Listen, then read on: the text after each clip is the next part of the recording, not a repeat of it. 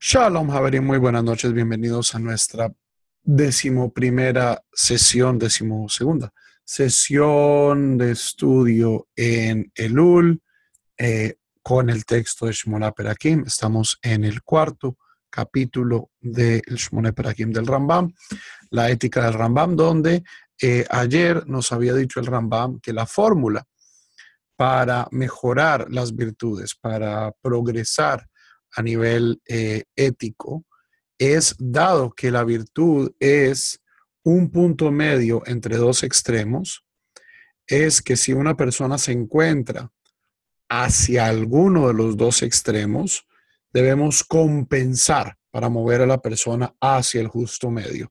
Y aquí se nos va a dar un ejemplo muy claro, entonces entremos en materia. Hamashal Bazé, el ejemplo que vamos a dar sobre esto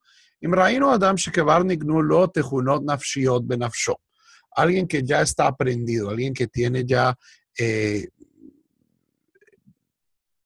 tendencias eh, en su neshama, en su nefesh, de hacer las cosas de cierta manera. Y es una persona que se autoniega muchas cosas, una persona tremendamente eh, autolimitante. ¿Cierto? No, no, no, quiere tener ningún tipo de placer, ningún tipo, una persona, pues, eh, eso es un vicio. Esto es un vicio. negarse a, cualquier tipo de placer es un vicio.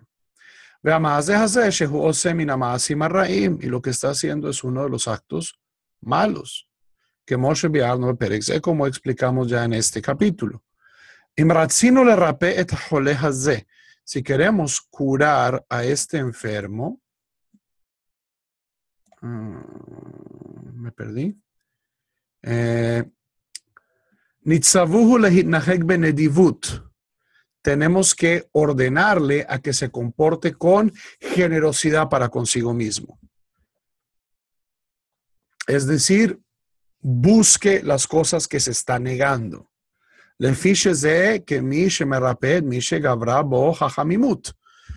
Esto es como curar el cuerpo de alguien que tiene fiebre. Alguien que tiene mucha fiebre, que se hace? Se pone en agua fría.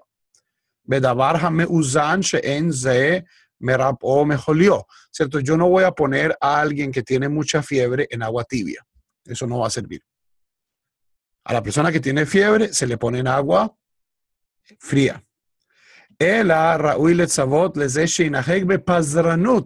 Esta persona debe eh, comportarse con liberalidad, con prodigalidad por un, por un periodo, pam a pam, pero tiene que ser consistente. ¿Cierto? Si así no le guste, tómese una copa más de vino, haga, disfrute, vaya al teatro, no me gusta el teatro, vaya, disfrute esto y deberá volver a el acto de, la prodigalidad. O sea, la prodigalidad también es un extremo. Pero entonces estamos tratando de mover a la persona de un extremo al medio. Entonces, para eso tenemos que forzarlo a que haga la acción contraria.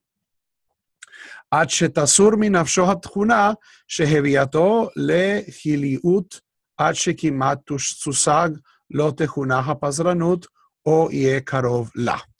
Entonces debemos eh, seguir insistiendo hasta que de esta persona se aleje eh, el esquema de hacer las cosas como lo estaba haciendo antes y se acerque más hacia el extremo de la prodigalidad o algo cercano a ello.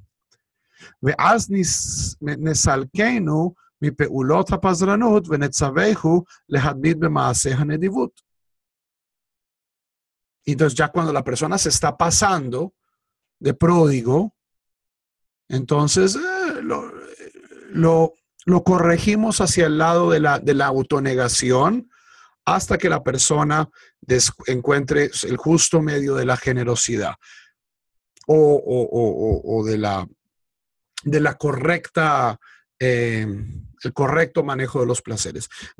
Kachtamid, esta persona ya una vez se encuentra, como, como dice en inglés, the sweet spot, el, lugar, lugar medio, se comportará de esta manera siempre, velo y aflig, velo y y no exagerará y no restará.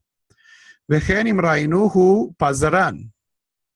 una persona que es botaratas, una persona que es eh, extremadamente eh, pródigo, Sabuhu le, le, ordenaremos, Linhog Bederech Akiliut, le ordenaremos hacer tacaño. Una persona que es muy botaratas, ok, usted eh, por estos próximos meses va a ser tacaño. Kama pa mí, algunas veces. Avalon la hazor al maaseja giliut pa amim rabot. Pero no, eh, eh, no exageraremos en, en, en, en, enseñarle tacañería, como Shivanuhu bemaaseja pazranut, eh, como le enseñamos en la otra dirección. O sea, hay, porque en este caso es, eh, o sea, eh, al parecer el Ramam lo que está sugiriendo es que a veces es mucho más fácil, o sea, es mucho más seguro sacar a las personas de la ausencia al, algo más moderado que bajarlas del exceso al, al, al justo medio. O sea, practicar la negación, incluso en esto, incluso en esto la tradición judía es tremendamente sospechosa de el ascetismo. ¿Ok? Preferible que la persona sea derrochón, botaratas, a que la persona sea tacaña.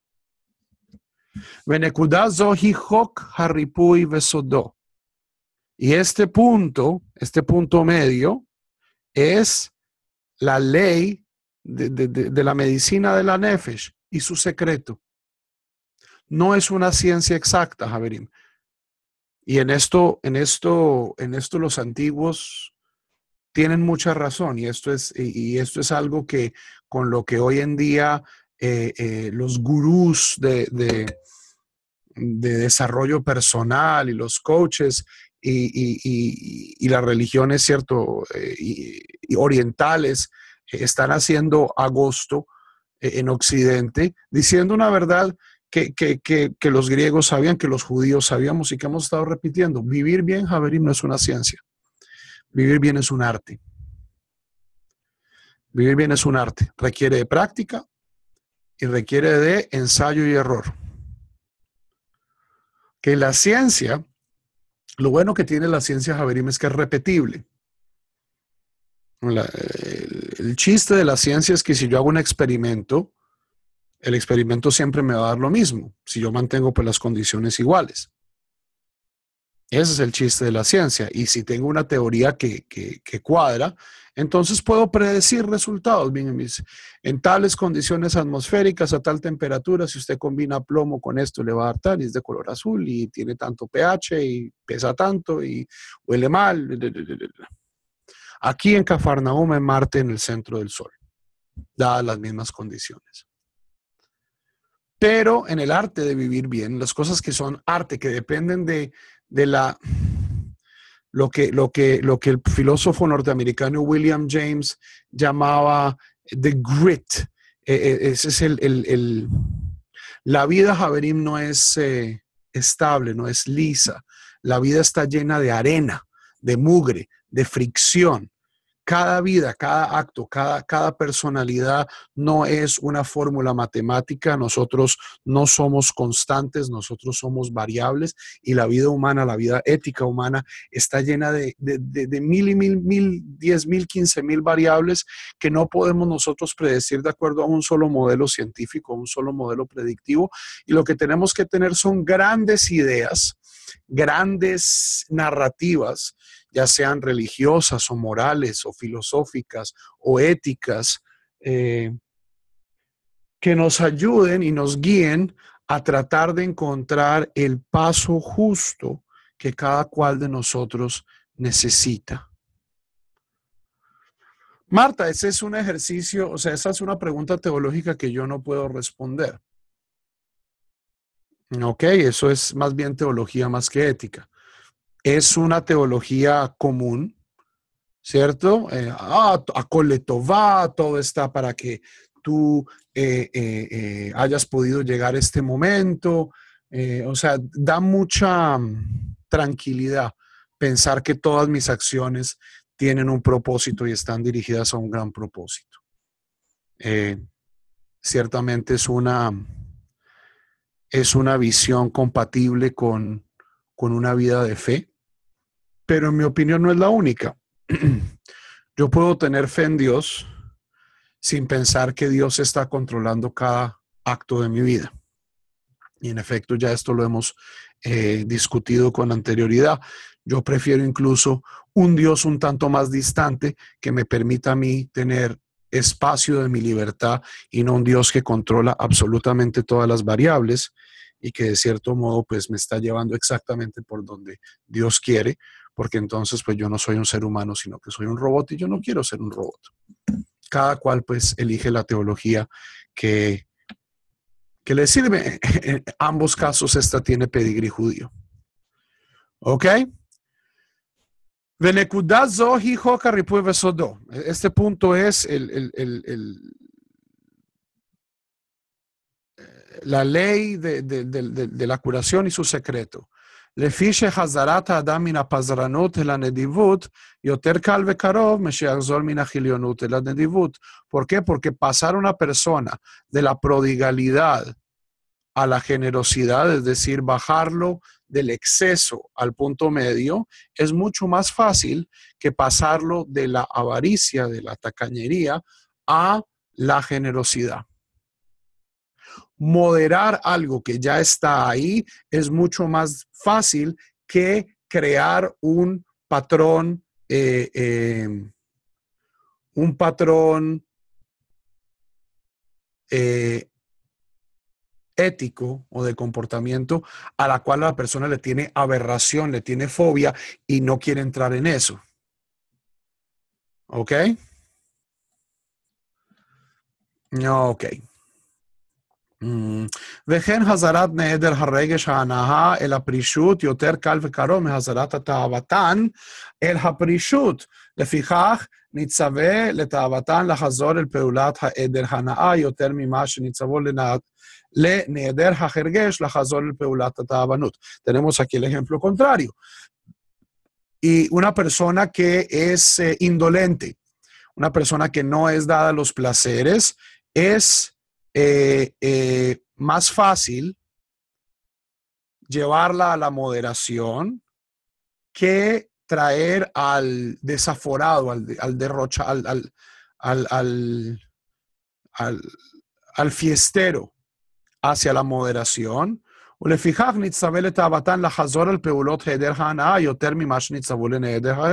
Y por lo tanto vamos a tratar eh, a la persona eh, eh, gozona, esa persona tiene que negarse mucho más que invitar a la persona indolente a que se relaje un poquito. O sea, es mucho más, es mucho más fácil eh, despelucar a la, a zeta que, que, que, calmar al fiestero. Eso es lo que nos está diciendo el Rambam. O sea, y, y para cada virtud hay que encontrarle, como decía mi abuelita, la comba al palo. ¿Ok? ונחייב את רך הלבב לנהוג בחירוב נפש יותר ממה שנצטוו את המחרב נשו לנהוג במורך. Y obligaremos a la persona cobarde a comportarse con arrojo, con insensatez, eh, más de lo que le debemos eh, eh, enseñar al arrojado, al insensato, a, con, a comportarse con cobardía. ונרגיל את השפל בהתהדרות יותר ממה שנרגיל את המתהדר בשפלות. Y acostumbraremos a la persona que es autodepreciante, ¿cierto? Self-deprecating, es una persona tremendamente humilde, o sea, tan humilde que, se, que, no, que, no, que no reconoce su propio valor. Eh, le enseñaremos, o sea, es necesario estimularla más a que esta persona eh, se quiera más que lo que tenemos que nosotros enseñarle humildad al, al subido, a la persona pues eh, eh, eh, orgullosa. Vezehu hok refuat hamidot eh, un segundito que tengo aquí el texto con vocales. Mm. Veze Hok Refuat Hamidot. Zohreihu. Esta es la ley de la curación de las virtudes. Recuérdalo. ¿Ok? Y con eso, Javerim, llegamos al final de nuestro Shiur del día de hoy. Eh, vamos a ver cuánto nos queda en el capítulo. Mm, queda bastante, queda bastante en el capítulo. El capítulo cuarto es largo. Largo, largo, largo. Nos vamos a demorar, yo creo, hasta la próxima semana. Eh, Javerín, mil gracias. Nos vemos mañana, si Dios lo permite. Shalom. Seguimos con la Selijot.